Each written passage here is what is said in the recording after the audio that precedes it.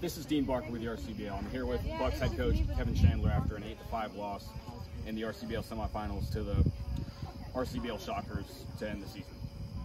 Coach, this game was competitive early on. It didn't, around that seventh inning, it didn't really go the way you wanted. You were able to make a little bit of a comeback, but it, you didn't get it done. What do you think uh, was the Achilles heel for this Bucks team?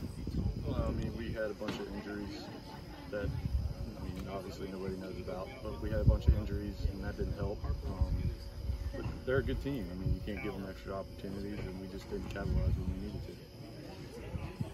to. So, overall, the series was it was a best of five series. It went five games. It was the most competitive series we've seen in the playoffs to this point. What do you think? Uh, where, other than just tonight, where do you think they had the edge? Uh, they just executed better than we did at crucial times.